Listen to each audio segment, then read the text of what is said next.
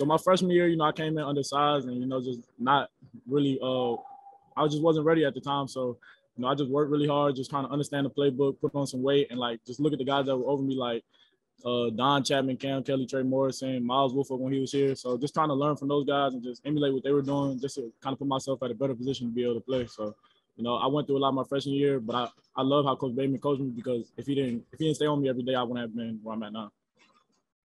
Um, I'd probably say confidence. You know, just coming in as a freshman, I wasn't really super confident in my abilities to kind of go out there with those guys and just uh, understanding the playbook. Um, you know, as a safety, you got to talk to everybody. So just me being able to understand the playbook and then just gaining confidence and then gaining the trust of my teammates and my coaches was the biggest uh, obstacle I had to overcome. And once I did that, you know, I've been feeling pretty comfortable back there. Um, you know, I, I felt like I, ended the season pretty well, and you know, just practicing my, with the second team and just during the springtime, I kind of just my big thing was just telling myself, you know, stay confident, you know what you're doing, lead, and just kind of follow guys that were back there with me.